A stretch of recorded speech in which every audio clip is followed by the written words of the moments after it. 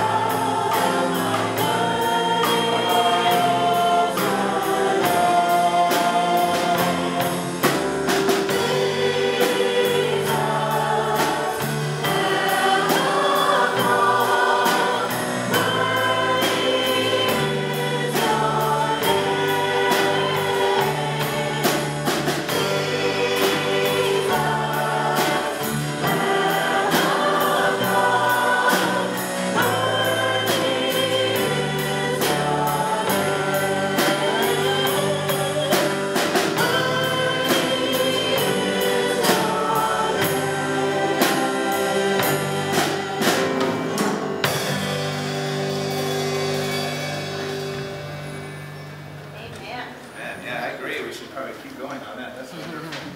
Let's uh, remain standing and uh, pray together our opening prayer. O oh God, you resist those who are proud and give grace to those who are humble.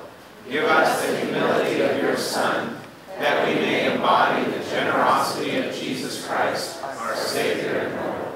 Amen. I invite you to be seated.